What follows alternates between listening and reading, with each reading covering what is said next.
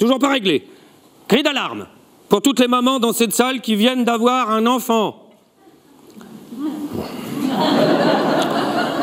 Et qui le nourrissent avec du lait fabriqué par Lactalis.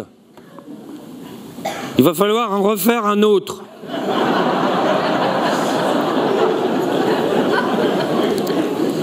Voilà, je vous rappelle au passage le slogan de Lactalis qui affame les producteurs de lait et empoisonne ses clients. Pour que la marge soit plus belle, ajoute de la salmonelle.